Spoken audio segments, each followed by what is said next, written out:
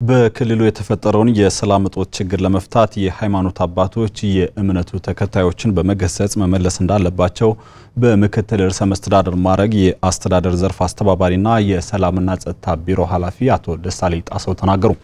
ክልሉን ወደ ነበረበት ሰላም መመለስ የሚያስችል ውይይት በጎንደር ከተማ ከሚገኙ የኢትዮጵያ ኦርቶዶክስ ተዋሕዶ ሃይማኖት አባቶች ጋር ምክክር ተደርጓል። ደስታ ካሳ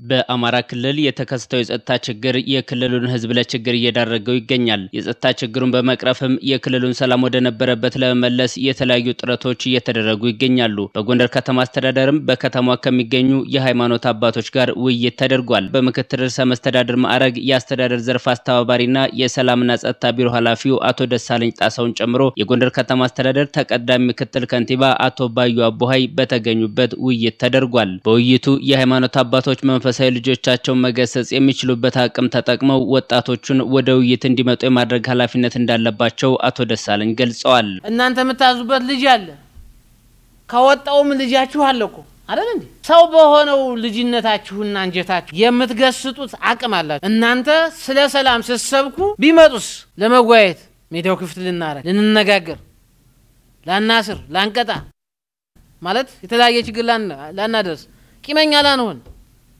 ለተፈጠረው ችግር በደላን ቁጥር ልንተዋቸው እኛ ለእናንተ ዋስትና መግባት አለብን ማለት ነው። የጎንደር ከተማን ሰላም የሚሆን የክልሉን ሰላም ለመመለስ የሃይማኖት አባቶች ሚና ከፍተኛ ነው ያሉት የጎንደር ከተማ አስተዳደር ተቀዳሚ ምክትል ከንቲባ ባዩ አቡሀይ ውይይቶችን ቀዳሚ ማድረግ ላይ መስራት እንደሚገባም ተናግረዋል። ስለ ጎንደር ብለን ስለ ወጣው በአቅማችን ልክ እንስራ።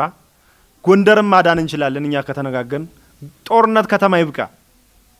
እንምከር። ሁላችንም ከኛ ቀን በላይ የሚሆን አይደለም። ከሰራን ሶ እንወያይ፣ መቶ ጊዜ ሺህ ጊዜ እንወያይ። ላንግባባ እንችላለን፣ እንወያይ። ጦርነትን ግን አንደግፍ። የሰላም እጦቱ ቀጣይነት እንዳይኖረው የሃይማኖት አባቶች የማስታረቅ ኃላፊነታችሁን ልትወጡ ይገባል ያሉት ደግሞ የአማራ ክልል ትራንስፖርትና ሎጂስቲክ ባለስልጣን ዋና ዳይሬክተር ዘውዱ ማለደ ናቸው። ቤተ ክርስቲያን ልጆቿን እያጣች ነው። ከማን ጋር ልትኖሩ ነው? ነገም በታሪክ ተጠያቂ ናችሁ። ህዝብ ሲያልቅ ዝም ማለት አለባት ቤተ ክርስቲያን? አድርጋችሁታል እኮ ከዚህ በፊት አዲስ አረጋችሁት እንጂ የቅማንትና አማራ ግጭት በእግራችሁ ሁሉ እየሄዳችሁ ህይወታችሁን ሽጣችሁ መልክ አላሳይዛችሁትም? እሱ ብልሃት የት ጠፋ? እሱም ብልሃት አምጡት ነው። መንግስትን ምትወቅሱትን ውቀሱ፣ ችግር የለበት። መንግስት ህዝብ የመረጠው መንግስት ስለሆነ ይሰማል። የመልማት ጥያቄዎች ከለውጡ በፊት የክልሉ ህዝብ ጥያቄ እንደነበር ያነሱት አቶ ዘውዱ ከለውጡ በኋላ ደግሞ በክልሉ በተለይ ደግሞ የመንገድ መሰረተ ልማት በስፋት እየተሰሩ እንደሚገኙም አብራርተዋል። አማራ ክልል ላይ እኮ ከለውጡ በኋላ ስልሳ የመንገድ ፕሮጀክት የአስፓልት ፕሮጀክት ፌዴራል በጀት መድቦ እየተሰራ ነው ያለ። አሁን በዚህ በግጭቱ ምክንያት ቆመ እንጂ ወደ ሀያ ምናምኑ ቆመ እንጂ ይሄ ይሄ አንዱ እኮ የናፈቀን ይሄ ነው የነበረው። ኢንዱስትሪ ፓርክ የስራ እድል የሚፈጠርልን በሌሎች ክልሎች ሁለት ነው ያለው።